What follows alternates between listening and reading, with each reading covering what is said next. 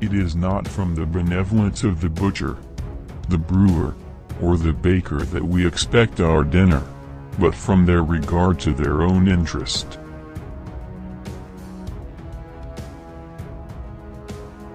All money is a matter of belief.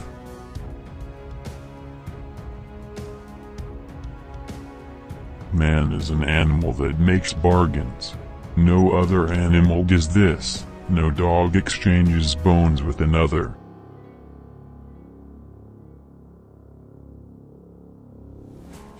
The real tragedy of the poor is the poverty of their aspirations.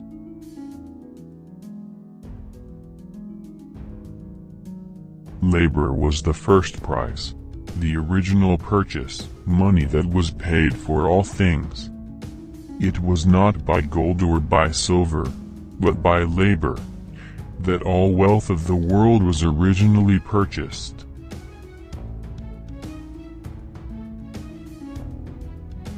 Little else is requisite to carry a state to the highest degree of opulence from the lowest barbarism but peace, easy taxes, and a tolerable administration of justice. All the rest being brought about by the natural course of things.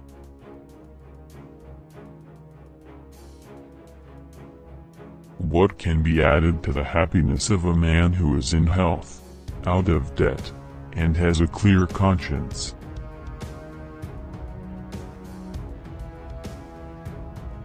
Defense is superior to opulence.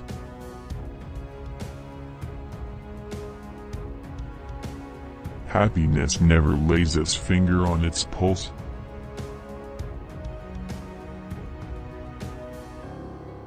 No complaint is more common than that of a scarcity of money.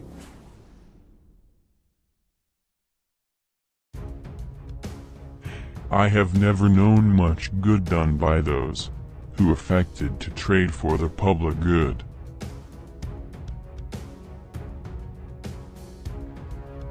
Resentment seems to have been given us by nature for a defense, and for a defense only.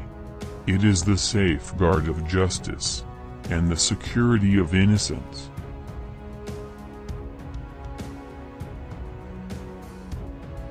Labor was the first price, the original purchase, money, that was paid for all things.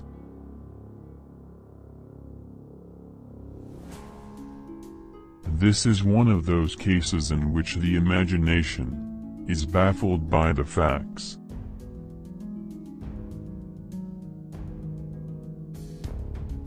The theory that can absorb the greatest number of facts and persist in doing so, generation after generation, through all changes of opinion and detail, is the one that must rule all observation.